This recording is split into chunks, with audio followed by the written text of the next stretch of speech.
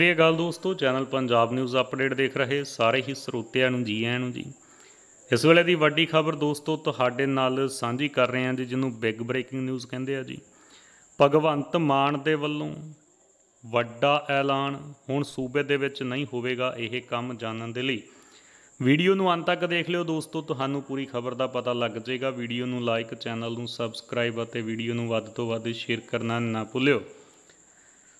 ਸੂਬੇ ਵਿੱਚ ਵੱਧ ਰਹੀ ਲੰਪੀ ਸਕਿਨ ਵਾਇਰਸ ਨੂੰ ਰੋਕਣ ਦੇ ਲਈ ਮੁੱਖ ਮੰਤਰੀ ਐਕਸ਼ਨ ਮੂਡ ਵਿੱਚ ਨਜ਼ਰ ਆ ਰਹੇ ਨੇ। ਇਸ ਸੰਬੰਧੀ ਮੁੱਖ ਮੰਤਰੀ ਭਗਵੰਤ ਮਾਨ ਨੇ ਉੱਚ ਪੱਧਰੀ ਮੀਟਿੰਗ ਸੱਦੀ ਇਸ ਮੀਟਿੰਗ ਤੋਂ ਬਾਅਦ ਮੁੱਖ ਮੰਤਰੀ ਭਗਵੰਤ ਮਾਨ ਨੇ ਪ੍ਰੈਸ ਕਾਨਫਰੰਸ ਕਰਦਿਆਂ ਕਿਹਾ ਕਿ ਲੰਪੀ ਸਕਿਨ ਵਾਇਰਸ ਸੰਬੰਧੀ ਮੀਟਿੰਗ ਹੋਈ, ਜਿਸ ਵਿੱਚ ਪਸ਼ੂ ਵਿਭਾਗ ਨਾਲ ਸੰਬੰਧਿਤ ਸਾਰੇ ਅਧਿਕਾਰੀ ਪਹੁੰਚੇ। ਉਹਨਾਂ ਨੇ ਦੱਸਿਆ ਹੈ ਕਿ ਲੰਪੀ ਸਕਿਨ ਨੂੰ ਰੋਕਣ ਦੇ ਲਈ ਸਾਡੀ ਸਰਕਾਰ ਨੇ ਫੈਸਲਾ ਲਿਆ ਹੈ ਜਿਸ ਵਿੱਚ ਪੰਜਾਬ, ਫਾਜ਼ਿਲਕਾ, ਬਠਿੰਡਾ, ਮੁਕਤਸਰ ਤੇ ਤਰਨਤਾਰਨ ਵਿੱਚ ਜ਼ਿਆਦਾ ਮਾਮਲੇ ਨੇ। ਇਸ ਲਈ ਕੋਈ ਦਵਾਈ ਹੈ ਤੇ ਵੱਡੀ ਮਾਤਰਾ ਦੇ ਵਿੱਚ ਆਰਡਰ ਕੀਤੀ ਗਈ ਆ, ਜੋ ਪਸ਼ੂ ਪਾਲਕ ਹਨ, ਉਹਨਾਂ ਨੂੰ ਵੀ ਪਸ਼ੂਆਂ ਦੀ ਦੇਖਭਾਲ ਰੱਖਣ, ਜੋ ਪਸ਼ੂ ਬਿਮਾਰ ਹਨ, ਉਹਨਾਂ ਨੂੰ ਵੱਖਰਾ ਰੱਖਣਾ ਚਾਹੀਦਾ ਹੈ।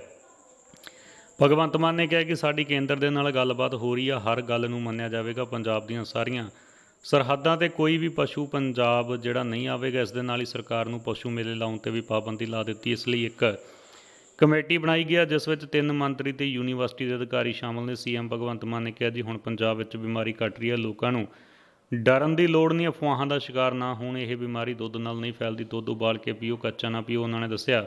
ਲੰਪੀ ਸਕਿਨ ਨੂੰ ਰੋਕਣ ਦੇ ਲਈ 86000 ਖੁਰਾਕਾਂ ਦਾ ਆਰਡਰ ਕਰ ਦਿੱਤਾ ਗਿਆ ਹੈ। ਧੰਨਵਾਦ।